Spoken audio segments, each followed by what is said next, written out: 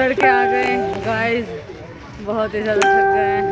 ये, पता नहीं, ये एक्सपीरियंस ज़िंदगी में दोबारा नहीं करना चाहेंगे कोई भी।